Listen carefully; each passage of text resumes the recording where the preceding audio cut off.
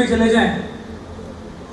तो हिस्ट्री तो क्लियर है कि मैं 1999 में मैट्रिक में होता था और कुछ इंटरमीडिएट में होता था लेवल तो वन फाइन मॉर्निंग जो है वो कुछ सियासत का इतना पता नहीं था तो अबू ने जो है मुश्ताक अहमद साहब, अबू ने उन्होंने फ़ोन किया और अम्मी को बताया कि मैं घर आ रहा हूँ शाम में।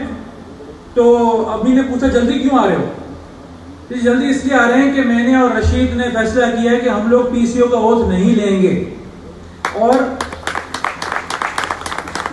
और उस वक्त जो है वो मैं खुद गवाह हूँ इस बात का कि मेरे वालिद साहब के अकाउंट में ढाई हज़ार रुपए थे। ये जजेस की सैलरी उस वक्त सैंतीस हज़ार रुपए होती थी। तो उस वक्त से जो है वो एक हार्ड वर्क ज़रूर इन लोगों ने किया। वरना मैं आपको ये बताता चलूँ कि दोनों को, रशीद रिजवी साहब को और मुश्ताक मेमन साहब को चीफ जस्टिस ऑफ़ पाकिस्तान बनना था। लेकिन सीट छोड़ना बड़ा मुश्किल काम होता है।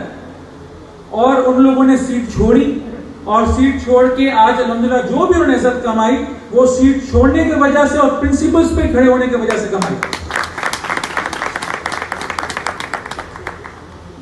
ये हिस्ट्री इसलिए इंपॉर्टेंट है कि यहीं से सारी चीज़ का पीछे से पता चलता है। फिर आप ये देखें कि 2007 में पीसीओ का औहदा आया।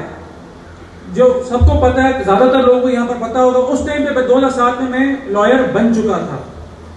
और हमें तो काला पुल की तरफ़ जाने से रोक दिया गया उस वक्त। आपको पता है एफपीसी के ब्रिज के ऊपर क्या हो रहा था वहाँ पर। लेकिन तहमाज भाई वहाँ पर पहुँच चुके थे और हमने जो है वो तस्वीरें आज भी इंटरनेट पर चलते हुए देखते हैं, जब तहमाज भाई बसों के जंगलों पर बैठे हुए थे। और स्ट्रगल कर रहे थे लॉयर्स मूवमेंट के लिए जजेस की रिस्टोरेशन के लिए।